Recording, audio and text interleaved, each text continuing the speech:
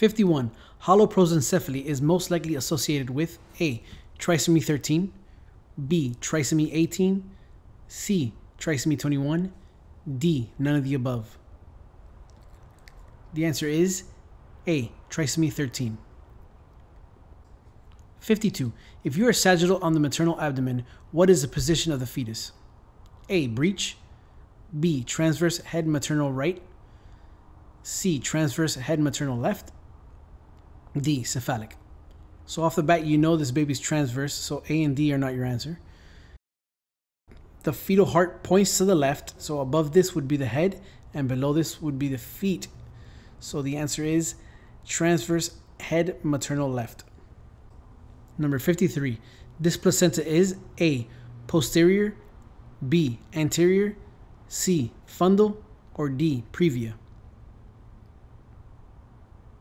The answer is A. Posterior. Number 54. The lemon and banana sign are associated with A. Down syndrome, B. Microcephaly, C. Spina bifida, or D. Microcephaly. The answer is C. Spina bifida. What is shown in this image? A. Normal transabdominal uterus, B. Adenomyosis, C. Adenomyomatosis, or D. Subserosal fibroid? The answer is B. Adenomyosis. This is a transvaginal image, so A is not your answer. Uh, if you have two answers, usually in a question where both words look very similar, typically one of them is going to be the answer. Adenomyomatosis is when biliary crystals get stuck in the gallbladder wall in the Rokitansky Aschoff sinuses. So adenomyosis is your answer. Number 56. What phase is the endometrium in? A. Early proliferative. B. Late proliferative. C. Secretory. Or D. None of the above. The answer is C. Secretory. The endometrium is thick and hyperechoic. Number 57. Which is not a part of the fallopian tube? A. Interstitial. B. Isthmus. C. Ampulla of Vater. Or B. Fimbriae. The answer is C. Ampulla of Vater. That's where the common bile duct enters the duodenum. Number 58. The floor of the pelvis is made up of A. Piriformis muscle. B. Gluteus minimus. C. Myometrium. Or D. Levator ani muscles. The answer is D. Levator ani muscles. Number 59. Which of the following amniotic fluid indices is considered polyhydramnios? A. 5 centimeters, B. 7 centimeters, C. 13 centimeters, or D. 26 centimeters? The answer is D. 26 centimeters. Remember, polyhydramnios means increased amniotic fluid. Number 60. Which of the following is least likely to be associated with polyhydramnios? A. Omphalocele, B. Duodenal C. Maternal diabetes, or D. Renal agenesis? The answer is D. Renal agenesis. If the fetus does not have kidneys, they will not be creating urine, which contributes to amniotic fluid, and they will have oligohydramnios or anhydramnios. Number 61. Ovulation occurs when the dominant follicle reaches A. 1 centimeter, B. 1.5 centimeters, C. 2 centimeters, or D. 2.5 centimeters. The answer is D. 2.5 centimeters.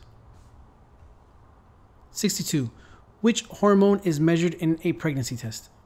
A. Alpha fetoprotein. B. Luteinizing hormone. C. Human chorionic gonadotropin. Or D. Follicle stimulating hormone. The answer is C. Human chorionic gonadotropin, or HCG. Number 63. This scan of a 90 year old female reveals A. Uterine agenesis. B. Ovarian cyst. C. Normal prepubertal uterus. Or D. Mesenteric cyst. The answer is C. Normal prepubertal uterus. Before puberty, the female uterus is very small and tubular. 64. The phase of the menstrual cycle following ovulation is A. Early proliferative, B. Late proliferative, C. Menstrual, or D. Secretory. The answer is D. Secretory. 65. The most common cause of postmenopausal bleeding is A. Endometrial cancer, B. Endometritis, C. Endometrioma, or D. Endometrial hyperplasia? The answer is D. The most common cause is endometrial hyperplasia. 66. Which of the following should not be seen in a postmenopausal patient? A. Endometrial carcinoma, B. Endometrial hyperplasia, C. Corpus luteum cyst, D. Fibroids. The answer is C. Corpus luteum cyst, which is usually seen in menstruating women. 67. A patient with a history of GI cancer presents with bilateral large adnexal masses. What kind of tumor will it most likely be? A. Serous cystadenoma. B. Mucinous cystadenoma. D. Krukenberg tumor. Or D. Cystic teratoma. The answer is C. Krukenberg tumor. 68. The most common site for an adnexal mass is A. Fallopian tubes, B. Broad ligament, C. Para-ovarian, or D. Ovary. The answer is D. Ovary. Number 69. You scan a 20 year old sexually active woman. She has fever and a tubular structure in the adnexa and a tubular fluid filled structure in the adnexa with hyperemia and low level internal echoes. What pathology do you suspect? A. Hydrosalpinx. B. Paraovarian cyst. C. Corpus luteum. Or D. Pyosalpinx. The answer is D. Pyosalpinx, which would be pus within the fallopian tubes. Number 70. A chocolate cyst is a a. Dermoid. B. Endometrioma. C. Hemorrhagic cyst. Or D. Pyosalpinx. The answer is B. Endometrioma. Number 71. What is another name for polycystic ovarian syndrome? A. Stein Leventhal syndrome. B. Patau syndrome. C. Meckel Gruber syndrome or D, Fitzhugh Curtis syndrome?